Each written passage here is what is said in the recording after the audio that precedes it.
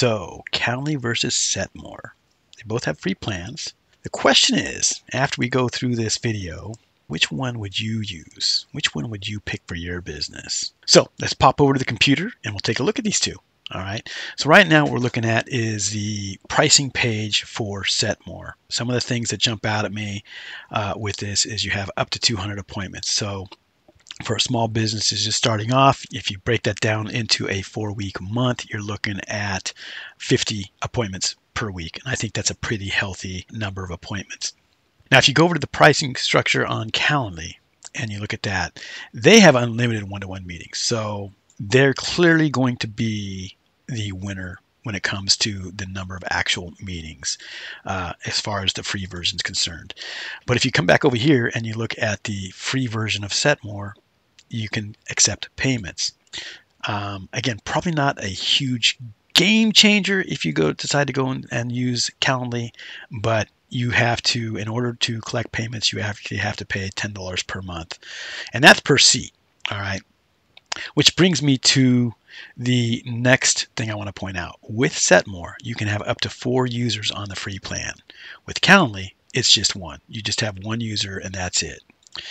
Next thing that we want to look at, the custom booking page, and I've said this in my other videos on Setmore, is pretty nice. There's there's one or two others out there that have booking pages that I would say are are nice booking pages, but for the most part, most calendar apps, the booking pages are not all that. And what I mean by that, let's just take a look and I'll show you. Here is the Setmore booking page.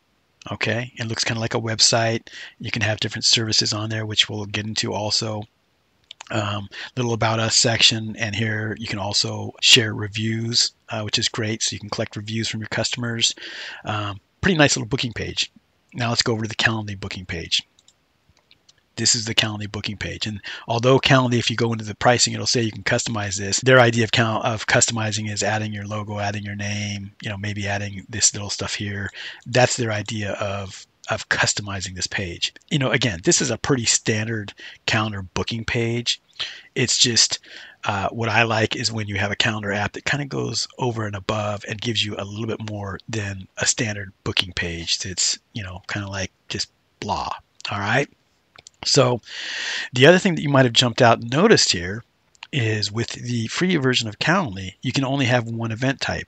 So I can only have PC troubleshooting or a one hour coaching or virus removal. I can't have any more than one of those, and that's it. But let's pop over to here. One of the things you'll notice with Setmore now is not only do I have like different categories here, I have services, and you can change this to whatever you want. You could change that if you wanted to.